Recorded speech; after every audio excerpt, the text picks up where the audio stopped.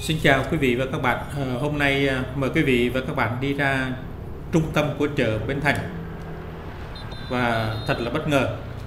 À, Sài Gòn Camera ra đây để à, coi cái tình hình mà giá vàng với giá đô la nó tăng tới kinh khủng luôn. Giá vàng hôm nay nó tới 87,5 triệu một lượng. Còn giá đô la thì cũng vẫn trên 25 ngàn một đô la thật sự là khủng khiếp và không biết khi nào nó dừng lại quý vị và bạn. Nhưng mà bất ngờ ở chỗ khi ra tới đây thì bắt đầu cái cơn mưa cơn mưa tự nhiên nó ập ập xuống. Đó, một cái cơn mưa giải nhiệt một cái cơn mưa mà nó xoa dịu đi những cái ngày nắng nóng cháy ga. Và không biết nó có được xoa dịu luôn cái à, cái giá vàng và giá đô la à, để cho nó hạ xuống không? Hay là vẫn ở cái đỉnh cao à, đu ở trên cao? Rồi trước khi đi vào chi tiết mời quý vị và các bạn cùng đăng ký ủng hộ kênh. Cảm ơn quý vị và các bạn rất nhiều. Đây là hiện tại Sài Gòn Camera đang đứng trước cái uh, chợ Bến Thành đóng chợ Bến Thành. Và trời nó đổ mưa xuống. Quá mưa trời luôn. quá. quý vị và các bạn. Cơn mưa giải nhiệt. Và mưa lớn luôn nha mưa lớn luôn. Ngay chợ Bến Thành đó này. mọi người thì cũng chuẩn bị áo mưa rồi. Quá trời có đất không? Đó mưa mà đen thù lùi luôn. Đó, quý vị thấy không? Nước nồng nước này nước nước dơ đó. Quý vị các bạn cả cái mùa nắng nóng bụi này rồi cái lốp xe nó chạy nó bào mòn ra này rồi những cái uh, cái cái nước uh, chất thải chất đồ này kia đó bây giờ nó mưa cái làm như nó rửa sạch đường đi nhìn đã thiệt quý vị bạn. Đó, trong những cái ngày nắng nóng khi mà mình ra đây là nó nắng ghê nắng cháy da cháy thịt. Đó đúng là những cái cơn mưa cơn mưa vàng quý vị các bạn cơn mưa vàng. À, nói tới đây thì hôm nay giá vàng lên tới 87,5 triệu một lượng. Thật sự khủng khiếp gần 100 triệu rồi quý vị. Nó còn khoảng mười mấy triệu nữa là chạm mốc 100 triệu một lượng vàng. Không biết người ta mua vàng làm gì quý vị. Mình không hiểu. Mà thường thường vậy bình thường nếu mà vàng nó rẻ không ai mua. Nhưng mà khi vàng nó càng lên thì người ta lại đổ xô đi mua vàng. Vàng và đô giống như bất động sản vậy bất động sản nhà cửa nó càng thế thì không ai mua. Nhưng mà khi mà nó sốt lên là mọi người vác tiền đi mua đi mua nhà mua đất. Đây là trước cái ờ, chợ Bến Thành này, quý vị các bạn. Và thành phố cũng có đang có hình như là có chủ trương để mà cho à, à làm lại cái con đường Lê Lợi. Coi như là trang trí lại con đường à, Lê Lợi ra này kia đó. Và trước cái vòng xoay này là trước cửa chợ Bến Thành công viên 23 tháng 9 à, hy vọng sau này à, nhìn cái bộ mặt ừ, của à, trung tâm nó sẽ khác đi và làm sao có cái khối bên kia này đó cái khối nhà bên kia mà nó à, đi vào một là đập bỏ hai là phải hoàn thiện. Như thế nào để hoàn thiện? Thì nhìn ngay cái trung tâm của thành phố mà nhìn một cái công trình giống như là công trình hoang công trình ma nó nằm án ngữ. Thật sự là thấy vô cùng khó chịu. Đây đây là những cái cơn mưa cơn mưa vàng quý vị bạn cơn mưa vàng. Và như mình đã nói, giá vàng cũng tăng, coi như tăng một cách khủng khiếp luôn. Giá đô la thì nó neo mấy tuần nay rồi, quý vị các bạn. Tháng nay rồi, trên 25 25 ngàn một đô la. Thật sự bây giờ ai có đô la là coi như là sướng nhất. Cứ vác ra đổi là ăn sạch thoải mái. Cao ghê gớm và như mình đã nói là một cái lượng vàng như vậy 87,5 triệu. Ừ, khủng khiếp không quý vị ơi. Và mình nghĩ thì à, không biết các cái nước phương Tây như thế nào người ta có cất vàng hay không. Tư dân Việt Nam thì ngày xưa thì ưa cắt cất vàng tại vì nó gọn nó nhẹ rồi cầm cái đi bán cái là nó xong.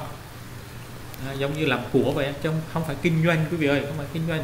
Không ai đi mua bán vàng không biết là những cái tay mà chuyên đi mua bán vàng như thế nào thì mình không rành nhưng mà dân dân chúng á, thì người ta ít có chuyện đi mua bán vàng đó. người ta có có thì người ta mua người ta tích trữ. À, sau này kẹt thì người ta bán thôi. Nhưng mà bây giờ cái giá tiền nó cao cao như vậy đó, thì không biết là người dân người ta mua vàng để làm gì. Hay là bây giờ cái uh, gửi tiết kiệm thì nó thấp quá cái uh, cái cái lãi tiết kiệm nó thấp quá. Và bất động sản thì à, nó lại đứng im. Nó vàng thì nó nhảy múa đúng là thật sự là cũng khó khăn ha. Những người dân mà có tiền cũng thực sự không biết uh, làm cái gì làm của ha. Còn mưa lớn nãy giờ nay là giờ là khoảng 11 rưỡi ngày 7 tháng 5 đó quý vị bạn. À, mình ra đây ờ, chạy một vòng nhưng mà giờ nó mưa nãy giờ. Nãy giờ cũng gần 10 phút rồi. Tự nhiên trời đang quang như vậy bắt đầu nó ập mưa xuống. Đúng là nắng Sài Gòn mưa Sài Gòn nó như vậy. Bất chợt mưa và bất bất chợt tạnh. Mưa mưa mưa lớn luôn quý vị ơi mưa lớn luôn. Đó, những cái cơn mưa này đắt giá nhất. Sau những cái ngày nắng nóng kinh khủng nhiệt độ lên tới ngoài ngoài trời lên tới bốn mươi mấy độ bốn hai bốn ba độ ngoài trời. Trong nhà cũng khoảng ba chín bốn mươi độ nó nắng mà nắng cháy da luôn quý vị các bạn ơi. Người nó đen nó da nó bỏng rát luôn.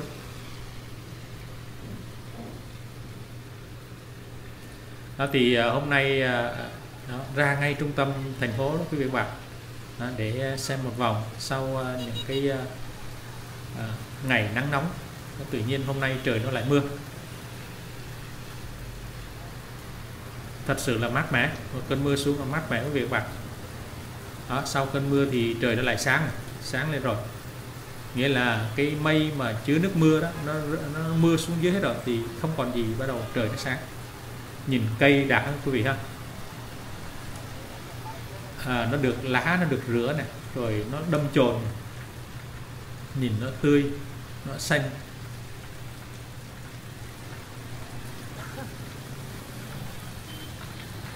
Đó, thú vị nhất là khi trời nó mưa đó, mình à, đứng ngắm mưa, quý vị các bạn. Và những cơn mưa này là đáng đồng tiền bắt gạo, quý vị ơi. Nó nắng nóng là đây là những cơn mưa giải nhiệt, những cơn mưa để rửa sạch phố phường, nghĩa là những cái bụi bặm dơ đường sáng, dơ sau 6 7 tháng trời không có mưa. Nghĩa là nó có hai mùa mùa nắng và mùa mưa. Đó, nhà cửa cũng vậy luôn. Nó bám bụi mưa thì nó sẽ sạch đi nhìn trời nó quang đạt hơn.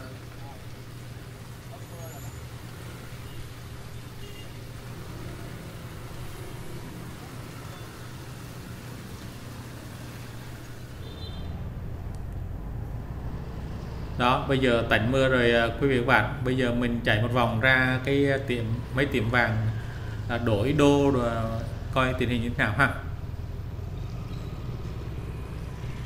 À, trời vẫn còn âm u á, quý vị các bạn đó cái tiệm vàng bên đây hai cái tiệm vàng tiệm đổi ngoại tệ quý vị vắng tênh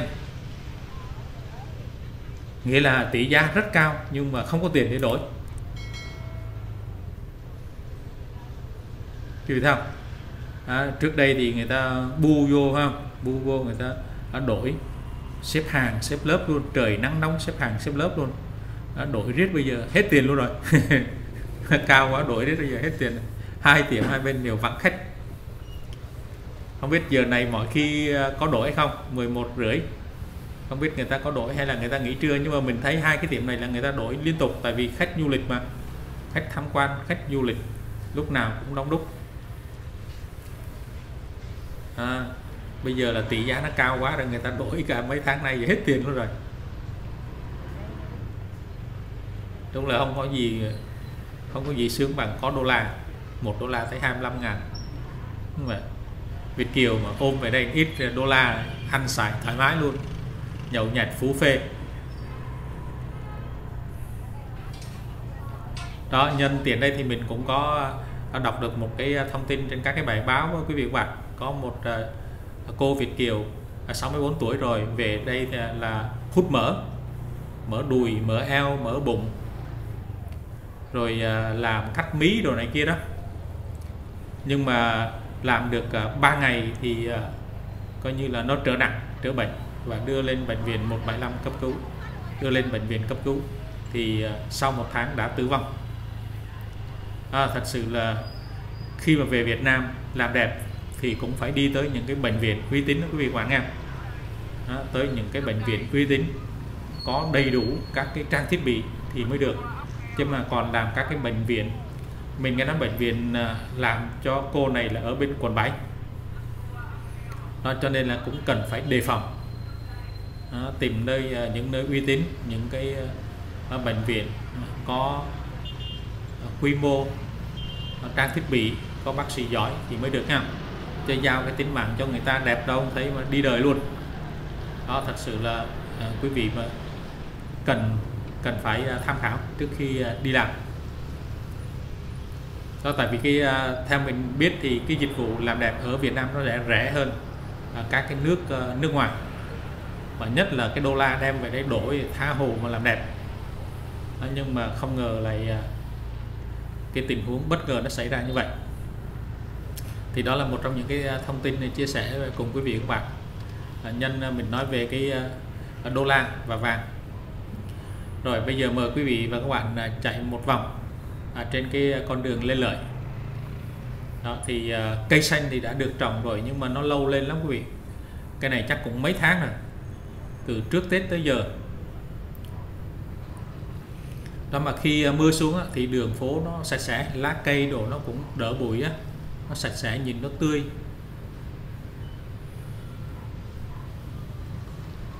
Nói chung à, lúc này ra trung tâm thành phố thì không đông đúc như, như những năm trước các quý vị những năm trước người ta đi tới nhiều lắm. Hai bên người ta buôn bán rất là tấp nập. À, khách du lịch khách tham quan. Người ta tới rất đông không có cái chuyện mà nó xe cổ nó thưa thớt kiểu này đâu. Lúc nào cũng đông đúc lúc nào cũng phải à, ùn ứ.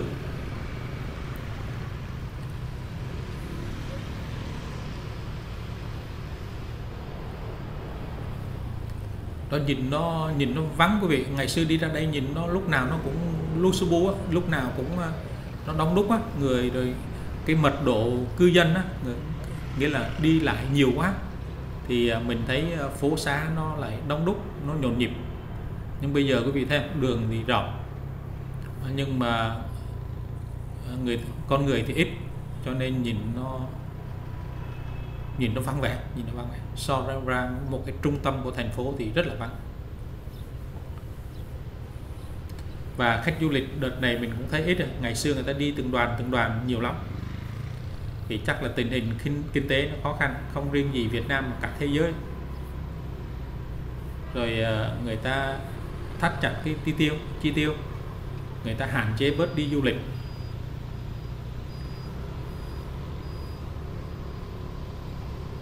Cái gì không?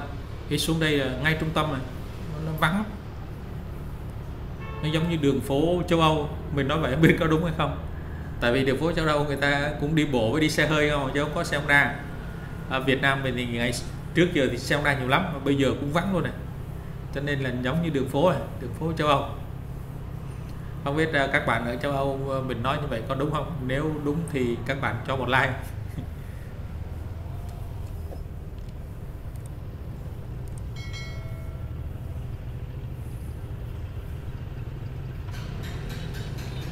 Nó mặc dù là mưa xuống thì ờ, thì thì nó lại ờ, ờ, đường xá rồi nó trơn trượt quý vị, nhưng mà vẫn thích. Tại vì cái, những cơn mưa này nó làm cái nhiệt độ nó giảm hẳn đi. Nó không còn nắng nóng như những cái ngày trước đây nữa. Đó, đây là mình chạy về phố đi bộ Nguyễn Huệ.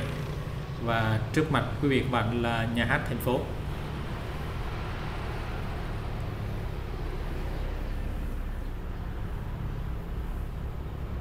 Các bạn quẹo phải thì ờ, là cái đường ờ, Đồng Khởi.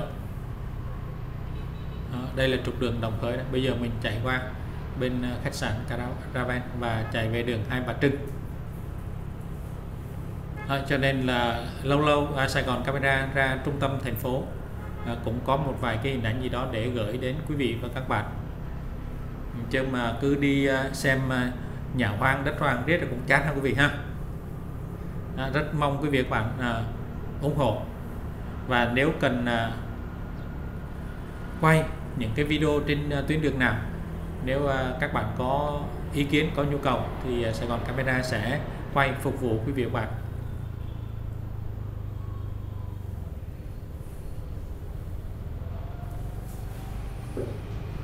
đó đây là cái con con đường hai bạc trưng này à, quý vị và các bạn này cái này là đi về à, hướng à, dinh độc lập, đi về à, hướng tổng lãnh sự Hoa Kỳ.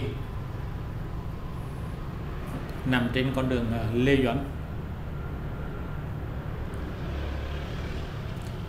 Đó thì hôm nay Sài Gòn Camera mời quý vị và các bạn ra trung tâm để tham quan một vòng, bất chợt có những cơn mưa và tìm hiểu giá vàng, giá đô la trong thời điểm này.